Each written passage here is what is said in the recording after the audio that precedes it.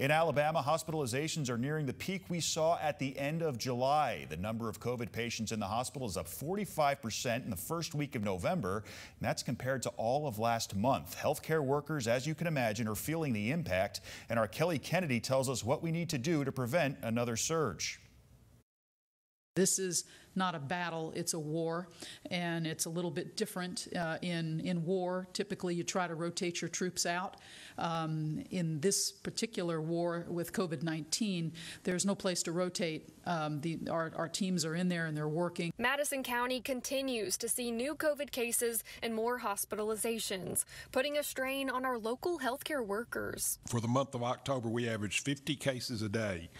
But in the last seven days in November, we averaged 76 cases a day. But there is some good news. Monoclonal antibody treatments for people who aren't sick enough to be hospitalized could be approved in the next few months. And just yesterday, Pfizer announced their potential vaccine has proven 90% effective in clinical trials.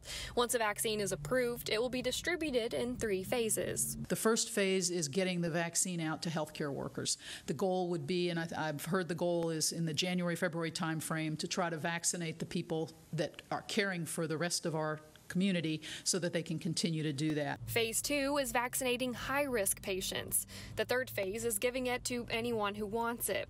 But for now, leaders say we must stay vigilant as we celebrate this holiday season. You have uh, Veterans Day tomorrow. We have Thanksgiving coming up. We have Christmas coming up. All the holiday parties.